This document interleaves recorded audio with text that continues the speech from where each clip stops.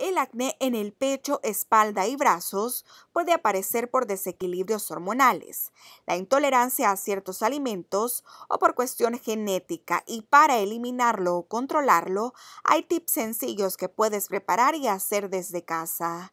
El más básico es lavarse dos veces al día con agua y jabón. Idealmente se debe hacer al despertar por la mañana y antes de irse a la cama. Puede utilizar productos de cuidado de la piel a base de agua, ya que no contiene sustancias químicas a las que pueda ser alérgico. Otro método consiste en utilizar las almohadillas de limpieza, ya que eliminan la suciedad y la grasa en la piel. Cuando hace ejercicio en el gimnasio o en la casa, asegúrese de tener una toalla para limpiar el sudor de la cara y del cuerpo, debido a que los folículos pilosos entran en contacto con los gérmenes y las bacterias invisibles en la atmósfera. Una vez en casa, no olvide ducharse.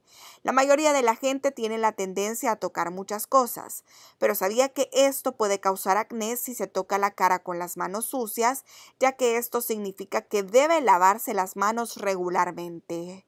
Si no puede hacerlo, asegúrese de usar un desinfectante en gel.